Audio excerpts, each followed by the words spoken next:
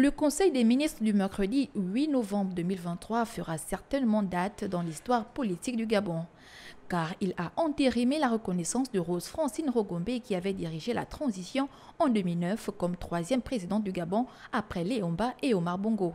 Une décision du président de la transition, le général Brice Clotaire Olekingema, qui veut honorer tous ceux qui ont joué un rôle déterminant dans la vie du Gabon.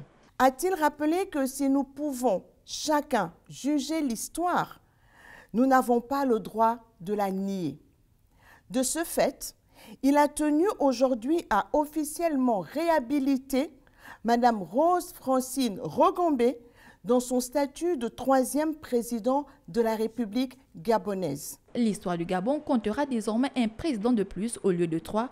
Au préalable, les présidents Léomba, Omar Bongo, Rose Francine Rogombe et Ali Bongo Ontimba.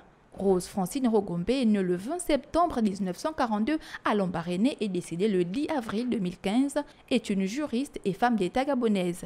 Elle était présidente du Sénat entre 2009 et 2015 et, à ce titre, a exercé les fonctions de présidente de la République par intérim de juin à octobre 2009 à la suite du décès d'Omar Bongo Ndimba. En tant que présidente du Sénat, Rose Francine Rogombe était constitutionnellement le successeur intérimaire du président de la République selon les dispositions constitutionnelles de l'époque.